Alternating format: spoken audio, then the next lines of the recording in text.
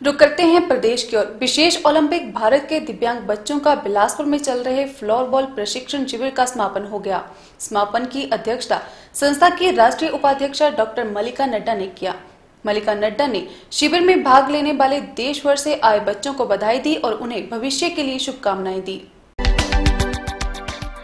विशेष Olympic Bharat के दिव्यांग बच्चों का बिलासपुर में चल रहा फ्लोर बॉल प्रशिक्षण शिविर का समापन हो गया है। समापन की अध्यक्षता संस्था के राष्ट्रीय उपाध्यक्ष डॉक्टर मलिका नड्डा ने किया।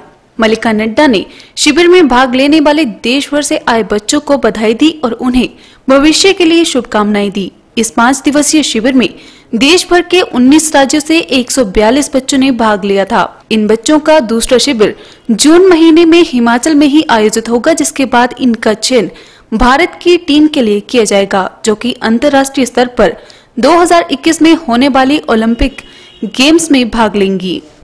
प्रदर्शित कर सके। और खेल कूद एक ऐसा मंच है, जिसके माध्यम से हम सामान्य ही नहीं, विशेष खिलाड़ियों को, विशेष व्यक्तियों को एक मौका और अवसर प्रदान करते हैं कि उनमें जो प्रतिभाएँ हैं, वो प्रदर्शित कर सके।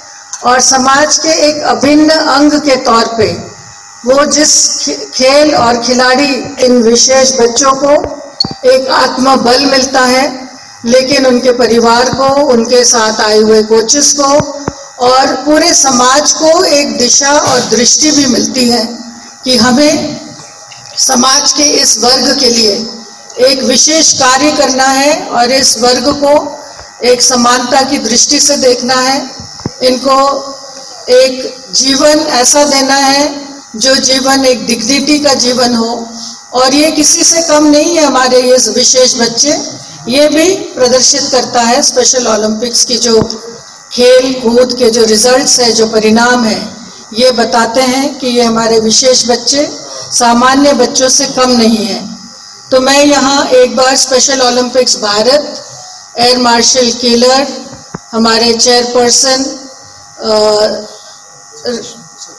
सतीश पिल्ले जी, हमारे स्पोर्ट्स डायरेक्टर विक्टर वास, इन सब की ओर से जहाँ हमारे स्पेशल ओलंपिक्स के इस कार्यक्रम को बढ़ाने के लिए उनका आभार व्यक्त करती हूँ। यहाँ पर हम रुकेंगे छोटे से ब्रेक के लिए, कहीं जाइएगा मत। ब्रेक के बाद हम आपको ले चलेंगे बिलासपुर की और जहाँ पर मुख्यमंत्री हेल्पलाइन के माध्यम से शिकायत मिलने के बाद पुलिस द्वारा शराब के ठेकों पर की गई बड़ी कार्रवाई।